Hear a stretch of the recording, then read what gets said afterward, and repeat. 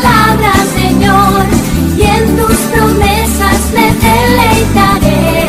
Todos tu gloria y honor, porque tú eres mi Dios mi. Alabado sea Jesucristo, por siempre sea alabado. ¿Qué tal, queridos amigos y amigas? Hoy la Iglesia se viste de blanco para celebrar la memoria de Santa Eulalia. Y somos invitados a comer y a beber del cuerpo y la sangre de Cristo, acercarnos a Él para que nos dé la fuerza que proviene de Dios. Es necesario pasar mucho tiempo con Cristo antes de que podamos ser portadores de sus gracias. En el nombre del Padre y del Hijo y del Espíritu Santo. Amén. Del Evangelio de San Marcos. Uno de aquellos días, como había mucha gente y no tenían qué comer, Jesús llamó a sus discípulos y les dijo, Me da lástima de esta gente.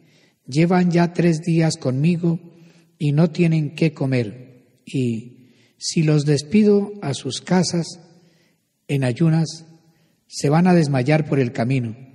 Además, algunos han venido desde lejos. Le replicaron sus discípulos, ¿y de dónde se puede sacar pan aquí en despoblado para que se queden satisfechos? Él les preguntó, ¿cuántos panes tenéis? Ellos contestaron, siete. Mandó que la gente se sentara en el suelo y tomó los siete panes, pronunció la acción de gracias, los partió y los fue dando a los discípulos para que los sirvieran. Ellos los sirvieron a la gente. Tenían también unos cuantos peces. Jesús los bendijo y mandó que los sirvieran también. La gente comió hasta quedar satisfecha y de los trozos que sobraron llenaron siete canastas. Eran unos cuatro mil. Jesús los despidió. Luego se embarcó con sus discípulos y se fue a la región de Dalmanuta. Palabra del Señor. Gloria a ti, Señor Jesús. En esta jornada sabatina, los creyentes apuntamos a la Santísima Virgen María como un modelo de iglesia, como un modelo de la pequeña comunidad, como un modelo de fe.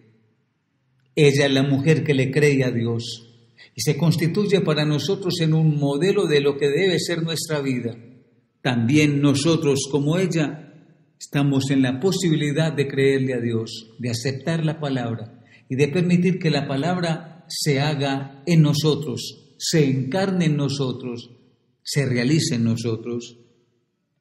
Hoy el Evangelio de San Marcos, en el capítulo 8, nos está presentando una multiplicación de los panes, que en este relato de San Marcos se trata del segundo, la segunda vez que Jesús toma la iniciativa de alimentar a la gente.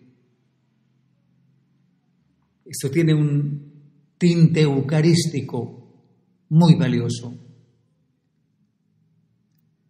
En la primera ocasión, Dios sintió compasión de la gente, le dio lástima, le dio pesar de la gente.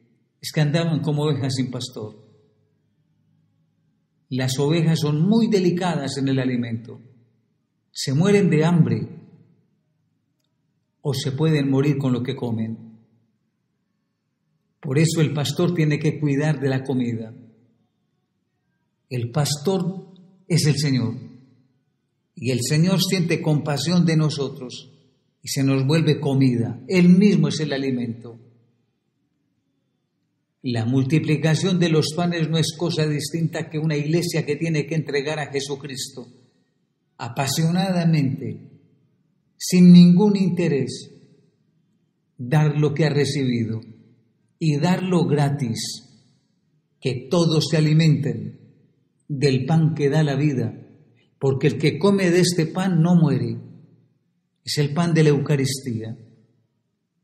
Que el Señor llene nuestros corazones de este pan de la vida, de este pan del amor, de este pan de la verdad, de este pan de la justicia, de Jesús, que es el verdadero pan de la vida.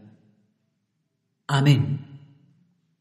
Amado Señor Jesús, no podré hacer el milagro de la multiplicación de los panes, pero sí puedo multiplicar con la ayuda de tu gracia, que recibo en la Eucaristía, mi caridad y mi amor por los demás. Amén. Feliz sábado, queridos amigos y amigas.